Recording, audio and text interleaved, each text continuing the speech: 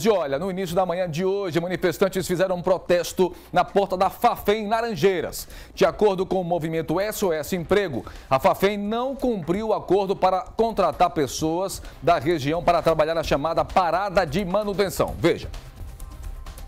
Olá, a manifestação começou por volta das 5 e meia da manhã. Todos os portões de acesso à Fafem foram fechados pelos manifestantes. Os funcionários que chegaram para trabalhar estão aguardando aqui do lado de fora. Eu vou conversar aqui com os manifestantes para saber o porquê que mais uma vez eles vieram aqui para a porta da empresa, né? Para reivindicar emprego, não é isso?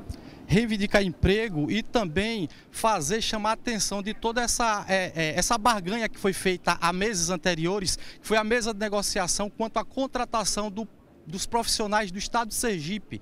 E essa negociação que foi acordada, ela não está sendo cumprida, gerando o quê? Muita, é, sendo dispendiosa as questões do desempregado do estado de Sergipe. Então nós do movimento SOS Emprego do estado de Sergipe está chamando para a responsabilidade dessa empresa a cumprir aquilo que foi feito, a gerar emprego, a é, é, absorver a mão de obra local e principalmente mão de obra técnica que se encontra no nosso estado de Sergipe, que na realidade está desempregado, gerando esse caos econômico do nosso comércio sergipano. Então é isso a nossa reivindicação.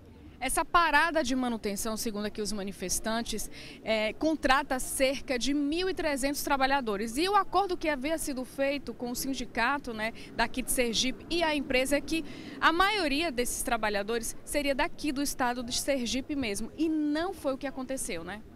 Com o acordo que foi firmado, nós firmamos um acordo aqui dentro, eu presenciei em várias mesas de negociações, as empresas informou que seria contratado 70% da mão de obra local do nosso estado. E hoje ocorre, as empresas trouxe pessoal até do Chile, de fora do país para nosso estado de Sergipe. Então eles estão dando credibilidade ao nosso movimento.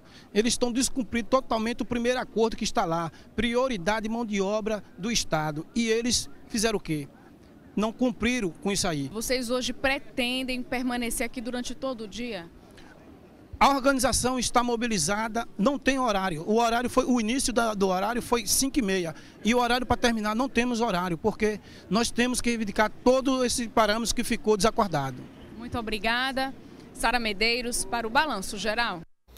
Olha, a nossa produção manteve contato com a Fafem no Rio de Janeiro e até agora não recebemos um retorno sequer, tá certo?